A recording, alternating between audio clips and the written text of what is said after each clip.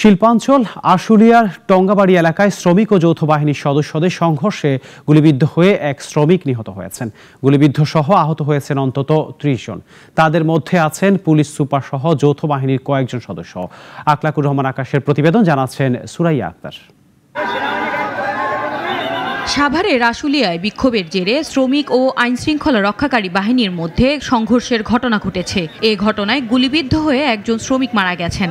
এ সময় যৌথ বাহিনীর অন্তত পাঁচটি গাড়িতে ভাঙচুর চালিয়েছে বিক্ষুব্ধ শ্রমিকরা। শ্রমিকরা জানায়, মণ্ডল গ্রুপের শ্রমিকদের সাথে মালিক পক্ষ, শ্রমিক প্রতিনিধি ও আইনশৃঙ্খলা বাহিনী ত্রিপক্ষীয় আলোচনায় সমঝোতা না হওয়ায় শ্রমিকরা কারখানার বাইরে অবস্থান নেয়। নোটিশ লাগাইছে তিন মাস পরে দিবে এটা কি মানার মতো? এই টাকার আশায় তো আছি যে দোকানপাট বা ইয়ে, বাসা ভাড়া এগুলো তো সব দেবো। তো আজকে আমাদের টাকা দেওয়ার কথা টাকা না দিয়ে আমরা বাধ্য হয়ে রাস্তায় অবরোধ করতেছি। আজকে টাকা দিব আমরা রাস্তা ছাড়বো। হঠাৎ তারা র্যাব ও পুলিশের কয়েকটি গাড়ি ভাঙচুর শুরু করে। পরিস্থিতি নিয়ন্ত্রণে পুলিশের গুলিতে ও লাঠিচার্জে অন্তত তিরিশ জন শ্রমিক আহত হয়।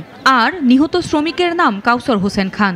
তিনি ম্যাঙ্গোটেক্স লিমিটেডের অপারেটর ছিলেন। বাসায় ফিরে যাইতেছি তখন হেরা মনে করছে গুলি করছে অন্য অন্য লোক গ্যামজাম করছে।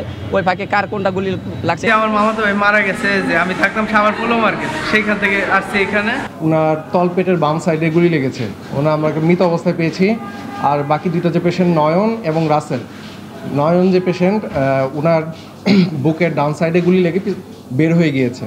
এ ব্যাপারে শিল্প পুলিশের পুলিশ সুপার সরোয়ার আলমের সাথে একাধিকবার যোগাযোগের চেষ্টা করা হলেও তাকে পাওয়া যায়নি। এদিকে বকেয়া বেতনের দাবিতে বিক্ষোভ করেছে বার্ডস গ্রুপের শ্রমিকরা।